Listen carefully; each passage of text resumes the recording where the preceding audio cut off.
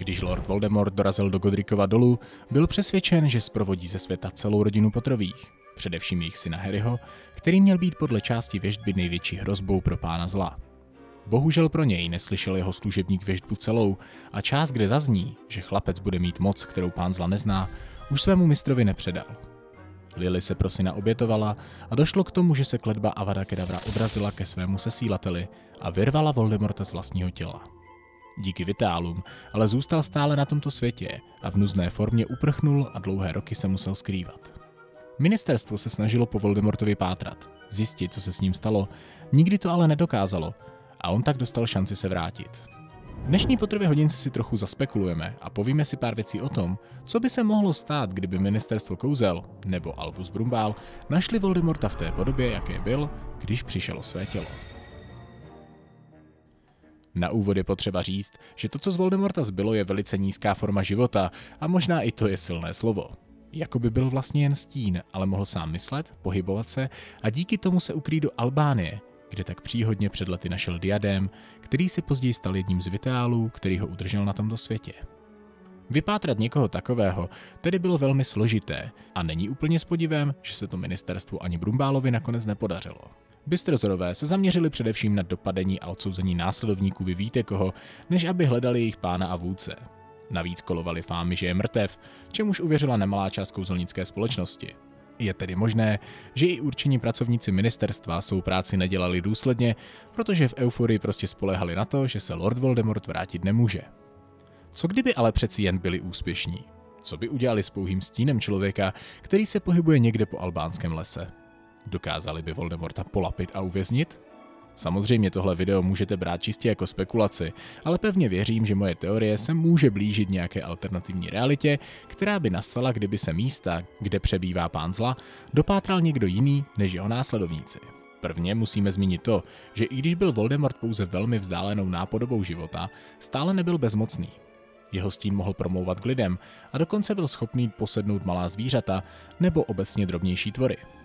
Ovládnul jejich mysl, parazitoval na nich, což je vysilovalo a tak se stávalo, že hadi, které si k tomu nejčastěji vybíral, pravidelně skomírali dřív, než by k tomu došlo bez jeho přičinění. A jak se později ukázalo, mohl parazitovat i na člověku, když se uhnízdil v těle Quirinuse Quirrella.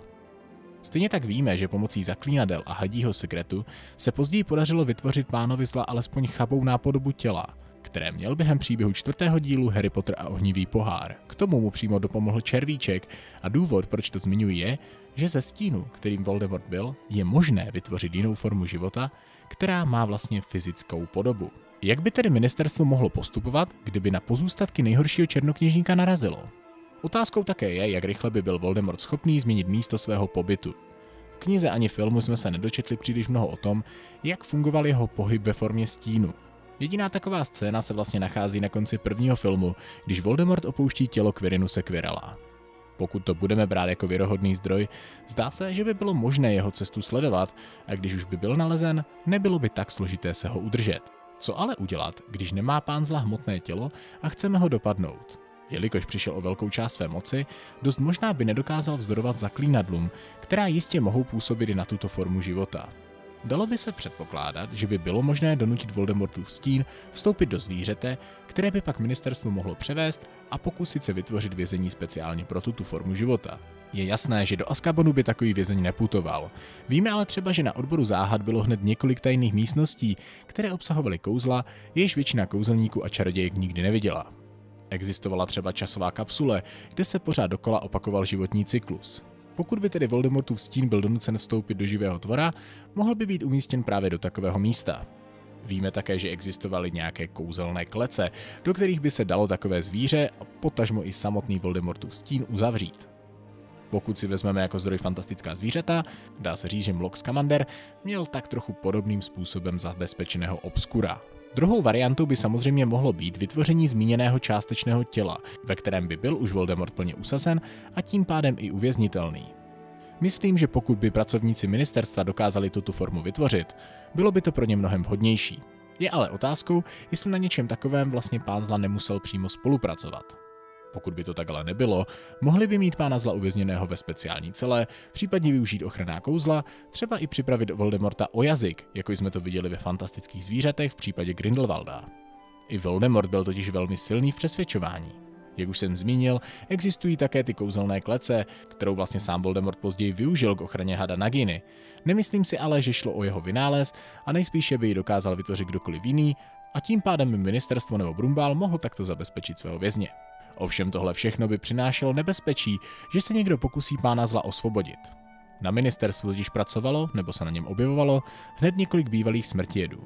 Lucius Malfoy, Volden McNair a jiní by určitě zjistili, jak je jejich bývalý pán uvězněn a chráněn. Jestli by se ho pokusili osvobodit, není sice jisté, ale je to dost pravděpodobné. Pokud by byl Voldemort polapen, hlavním nebezpečím by pro něj byl Albus Brumbál. Ten by jistě velmi rychle poznal, že jeho nová forma života je způsobena vytvořením vitálu. Voldemort by mu sice jistě neprozradil, kde jsou ukryty, kolik jich je a jak jsou chráněny, Brumbál by ale jistotu jejich existence měl o několik let dříve, než jak tomu skutečně v příběhu bylo, a měl možnost pátrat v době, kdy jejich majitel nemůže nic dělat. I kdyby se tak Voldemortovi podařilo pomocí některého služebníka uprchnout, Brumbál už by byl v plánech napřed a dost možná by hned několik vitálů dokázal odhalit a zničit. K nalezení prstenu a medailonku už dost možná měl potřebné vzpomínky. Stejně tak, jako si mohl ověřit teoretický počet zlomků duše ve vzpomínce Horáce a Křiklana, který by třeba za této konstelace hvězd byl sdílnější. Voldemortův had se navíc měl stát vitálem až po návratu červíčka k Voldemortovi, což mi teda nikdy nedávalo příliš smysl, ale kanonicky to tak je, což znamená, že v tu dobu bylo potřeba zničit o jeden vitál méně. Potíže by s tím však přesto byly, a to hlavně s dalšími předměty, Deník měl u sebe Lucius Malfoy, pohárek byl ukryt neznámo kde a pokud už tehdy byl ukryt v trezu Lestrangeových, jen těžko by ho tam Brumbál nalezl. No a kus duše v Harrym? Tu měl přeci zničit sám Voldemort. Zdá se tedy, že i kdyby ministerstvo nebo sám Brumbál Voldemorta dokázali najít a případně uvěznit, nejspíše by ho nebyli schopni zprovodit ze světa, pokud by z něj nedostali informace o všech vitálech, což by se jim nejspíše nepodařilo. Nicméně by tato situace znamenala, že by měli před pánem zla obrovský náskok. Pravděpodobně by ho dokázali ve vězení udržet a dost možná zabránit jeho návratu. Celá tahle situace ale je jen čistě hypotetická. Jak už jsem řekl, to, v jaké formě Voldemort byl, bylo něco výjimečného a prakticky se s tím nikdo nikdy nesetkal. Už samotné vytvoření Vitálu bylo něco extrémně vzácného a v historii známe konkrétně jenom jednoho dalšího kouzelníka, který to udělal, a navíc svou duši rozdělil pouze na dva díly. Můžeme tedy zkrátka říct, že obecná pravidla v případě Lorda Voldemorta příliš neplatí. A takto, jestli vůbec mohl být polapen, zůstane nejspíše záhadou. Já jsem se pouze snažil nastínit, co by se teoreticky mohlo dít, kdyby ministerstvo nebo Brumbál vypátrali jeho polohu. Rozhodně mě zajímá, co si o této problematice myslíte vy. Máte dojem, že je možné v této podobě Voldemorta polapit a nějakým způsobem uvěznit? A nebo je to nemožné a ministerstvo ani Albus Brumbál neměli šanci? Napište mi to dolů do komentářů. Rozhodně budu rád i za vaše rady na nějaká další budoucí videa, ať už by to bylo něco teoretického, anebo založeného čistě na faktech ze světa čara kouzel. Pro toto video už je to ode mě všechno. Byl bych moc rád, kdybyste u tohohle videa dali like a případně odběr tomuto kanálu, protože se snažím ho dostat až na 100 000 odběratelů.